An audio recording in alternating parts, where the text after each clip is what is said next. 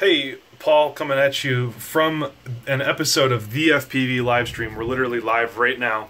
And we are giving away this, the Swirlie, as well as three frame kits. The first three people to comment will get the kits. The No, sorry. that was wrong. The first three people that I randomly pick will get the kits, and the last individual will get the Swirlie. Comment below with what you or with a YouTuber that people should go check out. So I want this to kind of be like a working list of resources of uh, other people that would be useful to know. So go ahead and comment, and we'll do be doing the giveaway shortly live on the FPV live stream.